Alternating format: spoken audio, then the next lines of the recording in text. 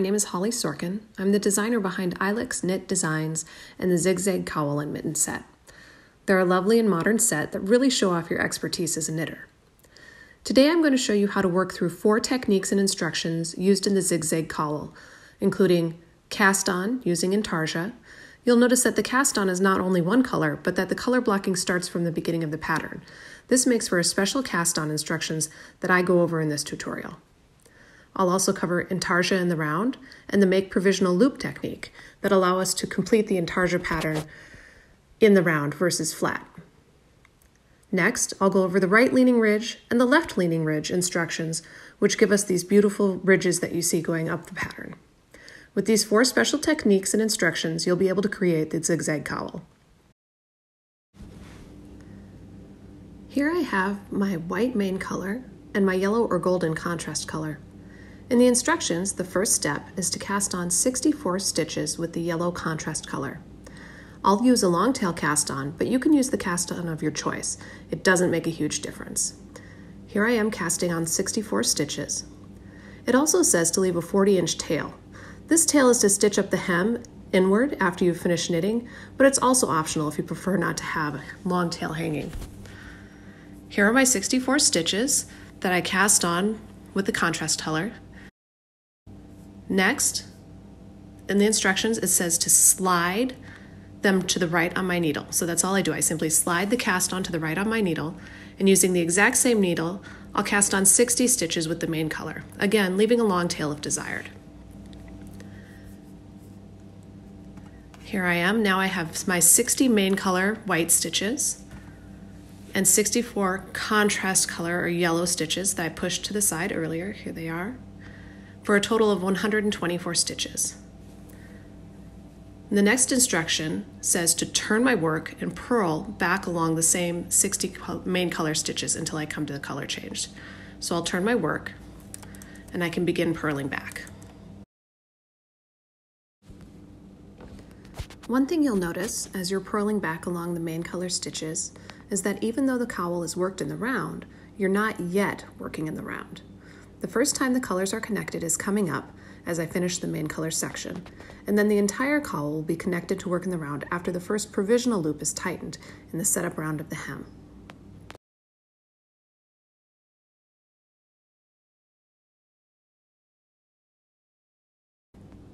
I've come to the last few stitches of my main color, and you can see that the main color and the contrast color are still not connected.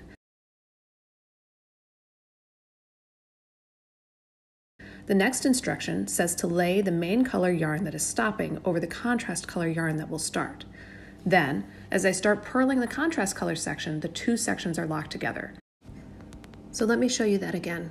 I'll take the main color, I lay it over the contrast color, and then I pick up the contrast color and I can begin purling. This is how colors are locked together in intarsia knitting, so there are no holes between the colors. Next, I follow the directions and purl 64 with my contrast color. So here I am purling the last few stitches for my contrast color cast on. Now I've finished the cast on section and I have 64 stitches of the contrast color and then 60 stitches of my main color that are just gently attached so far on the edge, but they're not connected yet to work in the round. We're not going to connect it the way we normally would when we're joining work in the round, but instead we'll start the folded hem section. This is what I was mentioning earlier when I said the cowl isn't joined to work in the round until after the first provisional loop is tightened in the section. folded hem setup round. Let's go ahead and start the folded hem setup round. I'll knit 64 with my contrast color all the way up to the color change between the yellow and the gold and the white. I've knit almost all the way from the beginning of my contrast color section to the color change. And if you see that the two colors have come a bit separated, that's okay. Just slide them back together and snug them by gently pulling on the main color yarn. Next, I'll lay the contrast color yarn that's stopping over the main color yarn that I'm starting to lock the colors together as we do in intarsia knitting. Then I simply follow the instruction for the main color that says knit to end.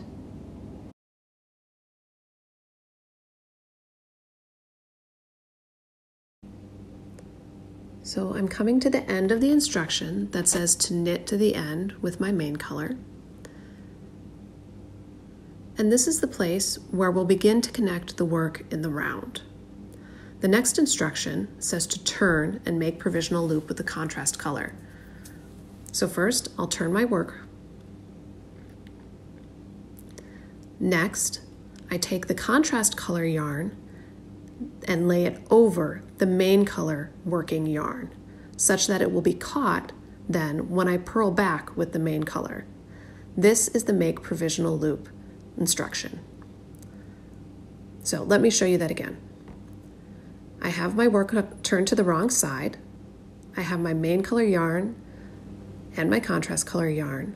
The instruction says to make provisional loop with contrast color. So I lay the contrast color yarn over the main color yarn so that it creates a slippable loop caught by the first main color purl stitch I make. Again, this is the provisional loop, and it allows us to purl back across the main color without having to stop or cut yarn. You can see now that I've purled my first few stitches, I have a nice slippable loop with my, with my contrast color. So then when I arrive at the contrast color section, I can simply pull more yarn as needed to finish that section. And here's the slippable loop.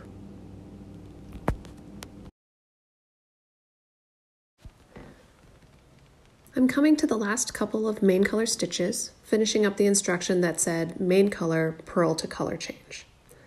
And because we're knitting in intarsia, then I'll take my main color yarn, the yarn that's stopping, the white, and I'll lay the main color yarn over the yarn we're starting, the contrast color. I'll also take a moment here to untangle things a bit so you can see the provisional loop we created earlier and how it will work. It's quite normal in intarsia to untangle your yarns every row or so, so don't lose hope if you have a tangle every now and again. You can see the contrast color yarn is connected where we will purl, as well as back at the previous color change, making this nice slippable loop. Again, we're stopping the main color, so I'll lay that main color yarn over the contrast color, and then follow the instructions to purl with the contrast color to the provisional loop. So every so often as I'm purling across the contrast color section, my yarn might start to get tight or I might not have enough of it. And what I'll do is just gently pull a little bit more through that provisional loop so I can keep working all the way across to the end of the contrast color section. Here I'm coming to the end of my instruction to purl with the contrast color to the end. There, I've come to the last stitch there. I still have my provisional loop, which is connecting these two, and this is where we do the part of the instruction that says gently snug provisional loop.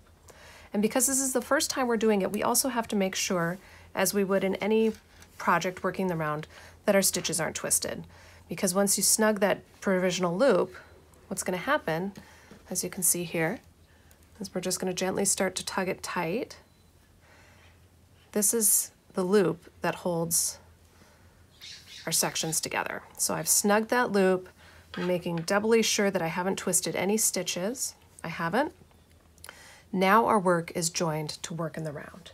We've completed the setup round for the fold, folded hem, and now we can work on the hem. So we turn. This is going to be our beginning of the round right here and I'll, I'll work one round of the folded hem just to show you how it looks and to show you once more what it looks like to create that provisional loop and snug it at the end. So let's start with the folded hem. We're going, it says contrast color, knit to color change. So I'm going to knit from here all the way to my color change over here. Okay. So here I'm coming up on the color change between the two rounds. Pardon my tails here as I pull those out of the way. And because we're working intarsia, anytime you come to a color change, you'll lay the yarn you're stopping, in this case my contrast color, over the yarn you're starting to create a nice loop so that the colors are locked together and we don't have a hole in our work. The next instruction says main color, knit to color change. This is the easy part. So I'm going to knit all the way from here, all the way around to the color change where I'm going to make the provisional loop. Okay, I'm coming to the end of the instruction to knit with the main color to the color change. You can see it's getting a little bit loose there, but that's okay. As we knit more, it will become more secure as we have more loops connecting it. So I've knit to the color change. See, there we are. Knit to the color change. The next instruction says to turn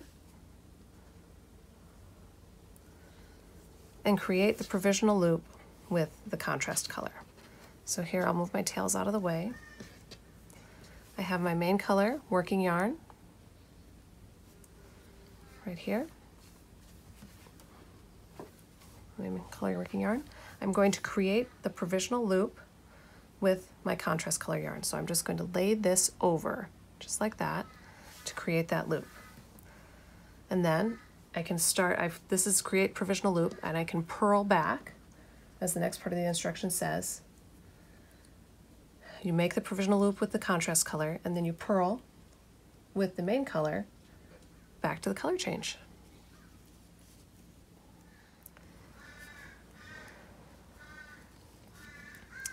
I've purled back to the color change with my main color. I'm stopping my main color, so I will lay that over the yarn I'm starting, which is my contrast color, and per the instructions, I will purl to the color change. I'm purling back to the color change again, where I have my provisional loop. I've made it to the color change. I have my provisional loop. In Intarsia, you'll also have to, from time to time, make sure you don't have any yarn stuck in your provisional loop. And here I definitely have my main color is wrapped inside my provisional loop, so I'll unwrap that before I snug the loop. Now I see that the loop is clear, and I can gently snug the provisional loop like that. And I've completed the first round one of the, the folded hem. So here you can see the work is definitely connected on both sides, although, you know, rolled up, connected on both sides. And I'll continue to repeat hem round, or the round one, until it's about one to one and a half inches. Next, I'll do round two, which is the round that gives us the nice uh, purl ridge that you see here. So this is all hem, this is round one in here that I worked up to this ridge that I created. This is a purl ridge, which we create in round two. And then after we work round two, then I can show you how to start working the right leaning and left leaning ridges. So from here, you'll work round one until you have the length you desire for the folded hem.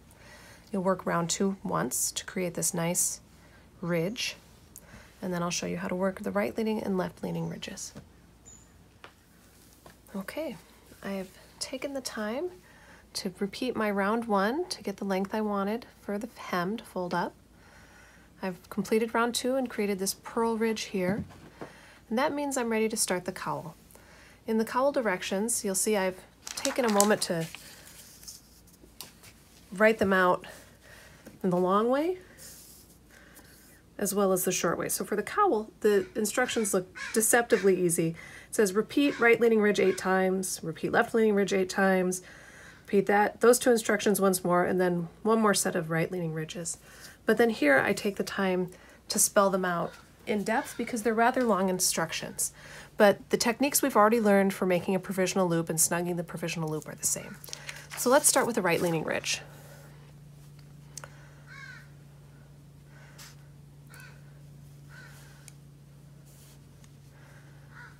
To begin the right leaning ridge, the first instruction says with the contrast color, slip two from the right needle to the left needle. So I'm going to take one, two. I'm going to do a 1-1 partial right cross. And what that means is that instead of knitting the stitches like I would in a traditional cable, I'm just going to switch their places. I do this without a cable needle. So I put this here, I'm going to cross this stitch, I'm going to take them both off, put this one behind, and this one there. That's a 1-1 partial right cross. I've completed that. I slip one, back to my right hand needle, and then I knit two together. And because here I have a main color stitch and a contrast color stitch, I'll be knitting those both together and I'm using my contrast color. Knit two together. Great. So I've completed the 1-1 partial right cross, the slip one, and the knit two together. Now I'm ready to do my left lifted increase. Because of this purl ridge, the first time around it's a little bit funny, but it still works. The left lifted increase, it means I'll be knitting into the stitch, the left shoulder of the stitch, one, two, below the one I'm working. So I'll pick that up and I'll knit it. That's the left lifted increase. Next it says to knit nine and do one right cross. So I'll knit nine, one, two, three, four, five, six, seven, eight, nine. And if you like to do your cables with a cable needle, you can. Because it's just a, just a 1-1, I actually don't use a cable needle for these. What I do is I slip it into the front, I slide two off, I pick up the one that came off from behind, and I slip this first one back on, and I knit two. That's my 1-1 right cross. Once more with feeling. I'm to knit nine,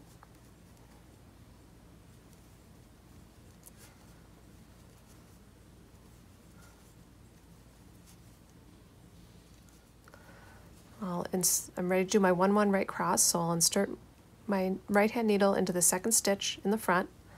I'll slide the first and second stitch off. I'll take my left hand needle from behind and go back into that first stitch. I'll change the order of the stitches so the second becomes the first and I'll put it back on the needle. That's the right cross without a cable needle. The rest of the instruction says to knit until I'm two stitches before the color change.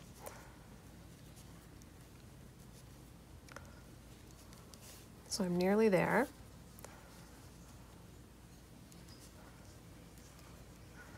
Here I am two stitches before the color change, one, two. It says to do a 1-1 partial right cross. And again, this is where I cross the stitches, but I don't actually knit them. So this is a lot like what I was doing a moment ago with my right cross or my right twist, except I won't be knitting them. So I insert into the second stitch, pull both off. From behind, I take the first, I switch the order of the stitches, and the second stitch becomes the first. So that's my partial right cross, and then I knit one. Next, it says to switch to the main color, and because this is Intarsia, I'll lay my working color yarn over that I'm ending over the working yarn that I'm starting. The first instruction for main color says knit two together. So I'll knit this stitch and the white stitch, the main color stitch, together. Perfect. And then I do another left lifted increase. So one, two, and again, because this is the purl row, it's a little bit wonky, but it's doable. So that's my left lifted increase.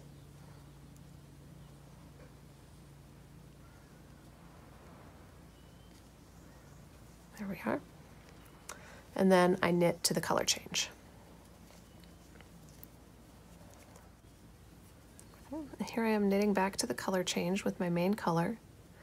And you'll notice, remember at the very beginning of this right leaning ridge, where the first thing we did in the instructions was slip two from the right hand needle to the left hand needle. We switched their order and we left one on there. So when we knit two together, we knit two, the white one and the yellow one together. And so this is that very first stitch that we slipped from the beginning of the round. And here we're knitting it. It's a little bit tighter because it was slipped, but this is gonna make sure that we have a nice ridge that flows all the way up. So there, we've knit to the color change. And from here, for the rest of this instruction, it's very similar to what we've been doing already. We turn, Here I have my working yarn. We make a provisional loop with the contrast color. Here's my contrast color. And we purl back to the beginning. So I'll purl all the way back with the white, all the way back with the white, to here, I'll pick up my yellow, I'll pull it all the way back, I'll tighten the provisional loop, and that will be a full, one full instruction of the right leaning ridge.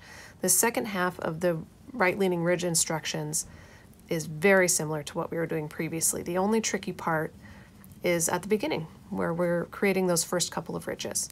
So I'll purl back to the beginning and then I'll show you once more how to create those right leaning ridges. Here I am almost back at the beginning. I have purled all the way back.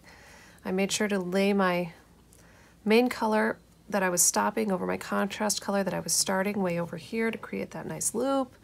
I'm getting back to my provisional loop that I made. I'm going to purl my last stitch because it says to purl to the provisional loop. So I've purled to the provisional loop. I'm going to make sure I don't have any yarn caught in there, which I do. I have this nice main color chunk caught in there. So I'll untangle these.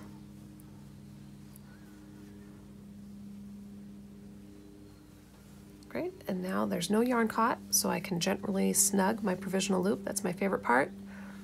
And I've finished that round. So let's do this once more. I'll show you again the right leaning ridge. So here you can see we've got our first right leaning ridge round done. First step of the right leaning ridge, it says to slip two from the right hand needle to the left hand needle. Great. Next, we'll do a 1-1 partial right cross. Again, that's where we switch the order of the second and the first stitch, but we don't knit them. So I'm switching the order. Great, done. And then it says to slip one. I'll do that. This is that lonely stitch that we knit when we came all the way back around with our main color. And the next step says to knit two together. So we knit this, these two together, one main color and one contrast color. There's the knit two together. And then we do the left lifted increase. So one, two down from there.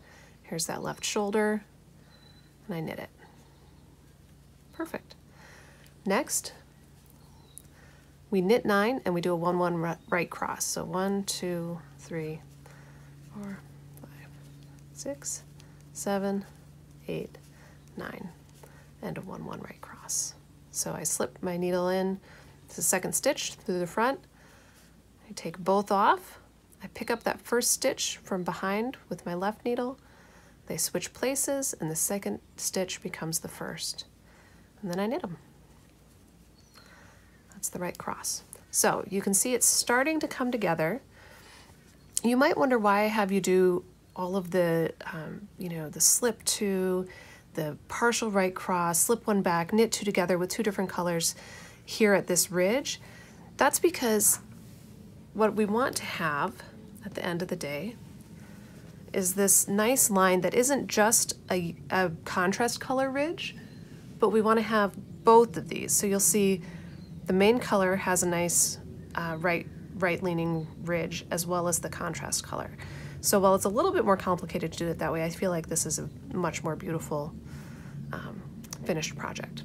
So now that I've shown you how to do the right leaning ridge, I will finish up that row, we'll come back, and I'll show you how to do a left leaning ridge.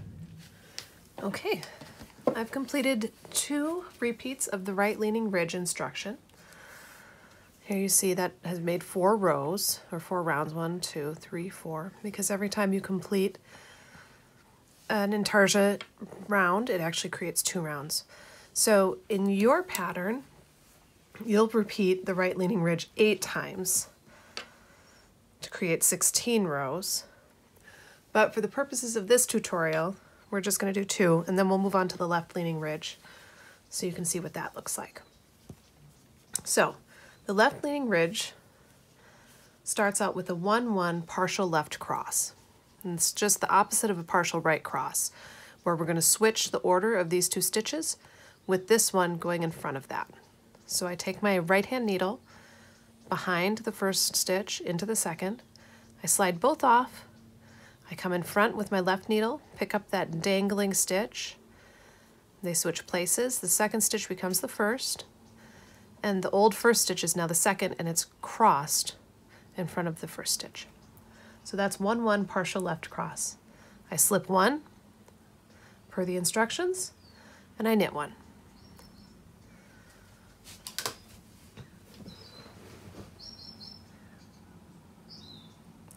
Next, I knit nine.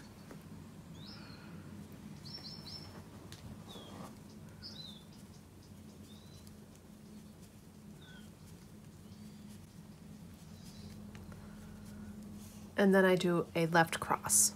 So this is just like the partial left cross, except instead of not knitting them, I'll knit them. So I slip my right hand needle into the second stitch from behind. I slip both stitches off. I take the left hand needle in front and pick up that dangling stitch. I cross to the left. I make the old second stitch the new first stitch, and then I knit them both separately. One, two. Let's do that again. I'll knit nine.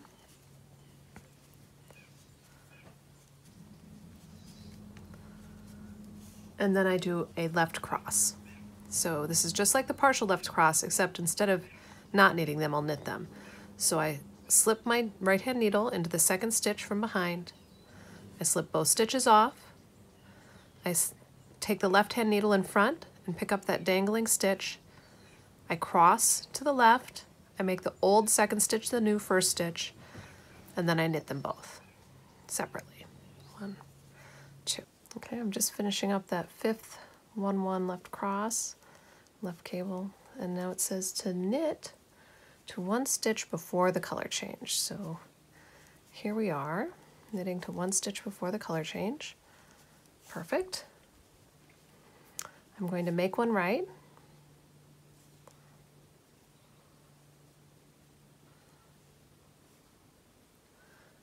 I'm going to slip one. I'm going to do a partial left cross where I switch the order of these two. I'm going to knit one. I'm going to pass the slip stitch over. There we go. And now with my main color, I'll knit to one stitch before the color change. Before I do that, I want to show you. Again, this might seem like a really futzy way to do it, but this is guaranteeing that we get that nice double left-leaning ridge for both the white and the gold. If we did it with just a left cross, we wouldn't get the um, the white ridge as well, which is what we want. So here I am, I'll knit to one stitch before the color change. Okay. I am nearly to one stitch before the color change. Here we are, one stitch before the color change. I will make one right.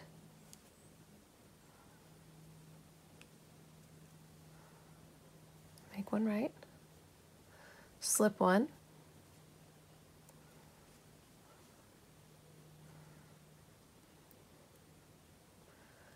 Knit one and pass the slip stitch over. There we go.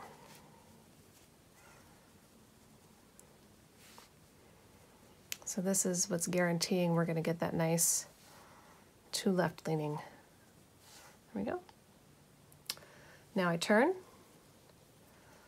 I make my provisional loop with my contrast color, just like we've been doing all along and I'll purl all the way back to the color change.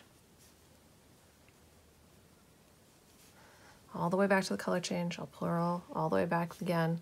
I'll snug my provisional loop and then we'll be right back where we started, ready to work another left leaning ridge.